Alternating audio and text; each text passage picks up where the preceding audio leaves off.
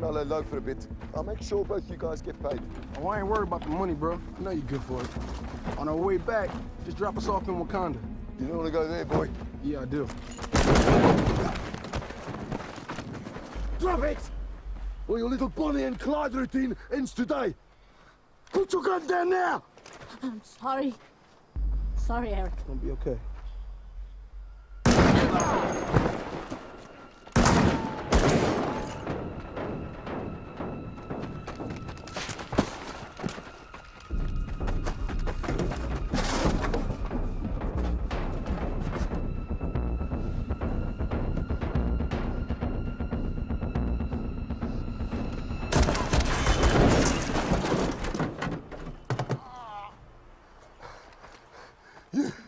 You really want to go to Wakanda?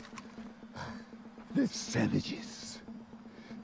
This is what they do to people like us. I ain't worried about no brain. Check these out. Each one is for a kill. You can scar yourself as much as you like. To them, you'll just be an outsider. You're crazy to think that you could walk in there.